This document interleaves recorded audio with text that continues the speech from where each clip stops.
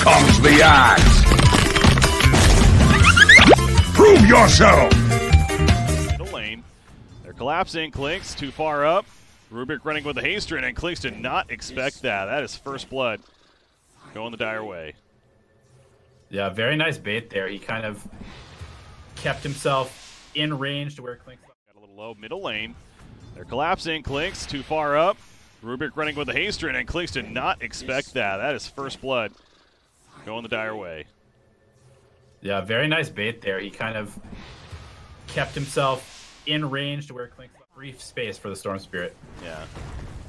Top lane, Vengeful, Fissure hits, Necro's running him down. That's going to be a kill on him. Top tower is Drow. under attack.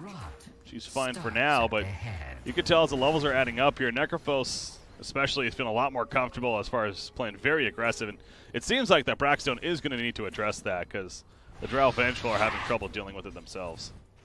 And actually, Drow's dead. Wow, I didn't think that was Oh, going to be able to run it down. too. Oh, really? I guess not surprised, but Phantom Lancer is doing a hell of a job here at this bottom lane. Continues to have high CS. As I say that, they're going on him. They're trying to figure out the real one, and made it a little difficult. So we'll be fine. Drow again, dead at the top lane. All right. So as I was saying earlier, I mean Braxstone, it, it's getting to do a point. I mean they have to address this. They can't just let him die over and over. In fact, Vengeful's probably dead now. Uh, they're gonna kill at least. Uh, there you go. Dire's top tower. It's two nulls, sometimes one, uh, but Kaya is. I remember there was some debate on whether Kaya was good Is under Does he have the Drow? What, what, what would you expect to see? on the Storm Yeah. progression. Um, I think that the fast Orchid is very valuable. Dire's top tower is under attack. I mean, you'll have extra damage, so you'll be able to pop people faster. But uh, until the lead. Going to Eul's first item, middle lane, lift on a Clinkz. The amp damage comes out with a wave of terror. There is no chance he lives through that. Four heroes just coming together. More of an offensive item considering the start that he's had, but instead of more of the defensive side. Estrella top lane though. Trying to get away this time. Rubik comes in for the save. The Frost Arrows, the enchant totem Oh, was in oh, wow. range. That going with this Phantom Lancer. PL in trouble. Doppelgangers. Swarm still on him though. Here comes Storm Spirit as well. Cold Embrace again will save initially. They kill Wyvern though. And the Remnant just nukes down. lock him down. Oh, the tower, the timing, very well played by the Radiant, but the Dire still gets credit for the tower kill. Thought they were going to be able to deny that actually on top of everything, but the sw- oh my god, if Excel gets out of here, are you serious? Fissure in three. I still think he's dead, but that was impressive to watch nonetheless. Let the Reaper Scythe happen and then get the Glide to prevent some damage. Speaking of that, Necrophos, top lane. Dear God. Uh, did he just not? I mean, he had Ghost Shroud and everything. I swear he, He didn't did. even use. I thought for a second that he had like pressed attack. Kill Shroud just as Zap came. Died so fast. Damn, that was a lot of damage. I think he just underestimated it, honestly. I really think he really wanted to defend this. Okay. Necrophos is back. He has a Reaper Scythe. He heals up on Storm Spirit. He's got plenty of life. The Echo Slam on top of the Reaper Scythe. The kill on a Storm Spirit. So, great combo from WP Gaming. They're probably going to get the Vengeful on top of this.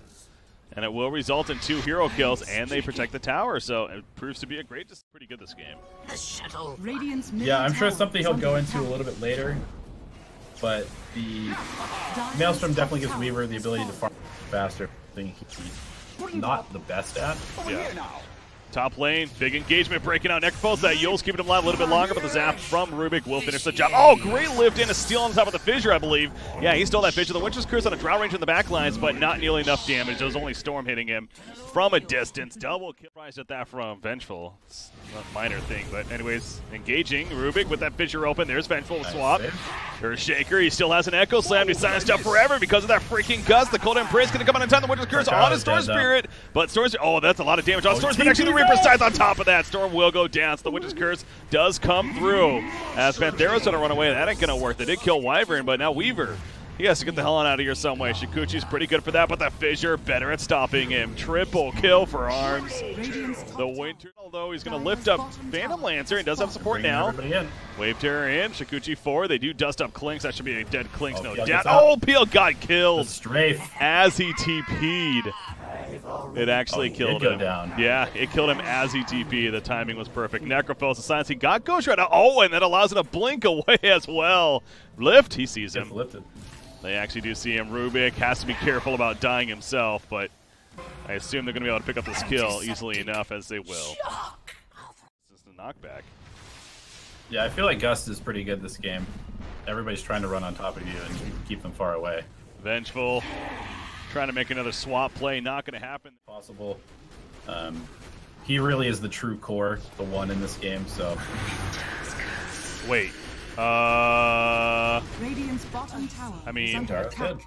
they, they killed him still, but yeah, if they can steal this away, very big deal. But they're being collapsed upon. Weaver in the back. Sword There's the opening, the timing. Drake he and he gets it. Sword Spear flying around now. Left and right. That is Leo style. Reaper Scythe here going off. Looks like Drought is going to be picked up. So they lose the aura, but they've already got both supports. And now they get the Phantom Lancer on top of it. Yep, there enough. Sure enough, even. Has it queued up. Middle lane, smoke. Going for Weaver. Again, this would be a big kill. It's only done once so far. Make it twice. Here, That's a BKB going off. Weaver jumping on top of the Phantom Lancer, gets him the half life off the bat. Now he's bringing attention to Necrophos. Necrophos on an easy kill though. Nice time lapse. Curse in the backlines. Who didn't catch? All the swap out on Rubik. It almost killed him, but he stays alive as a result. Echo Slam hits a couple of heroes. They lost Rubik, but Storm Spirit, he's still looking pretty healthy throughout this fight. Nice cold embrace though. Keeps up Dunha for now. And they do kill Phantom Lancer who went too deep. Ghost Shroud from the Necrophos gets pushed back by Hurricane Pike. under. But now he's very vulnerable. structures Drought just gonna sit there right clicking time. like a boss. That mask of mass steal, but it kind of is. You know, through the levels, it adds up more and more. The less agility he has as Drow. Force Staff Nice, over the nice. fissure and will survive. Clinkz cannot run him down. They lost Urshik in the backline. Storm Spirit is out of mana currently. He has an Aegis though, remember. So Rubik again going to be our uh, Winter's Cursed right there. Wyvern will end up getting the kill as a result with Where's Weaver taking him out. Yeah, where is it? The Reaper Scythe thought, nope. Weaver, he got the time lapse off. Doesn't matter.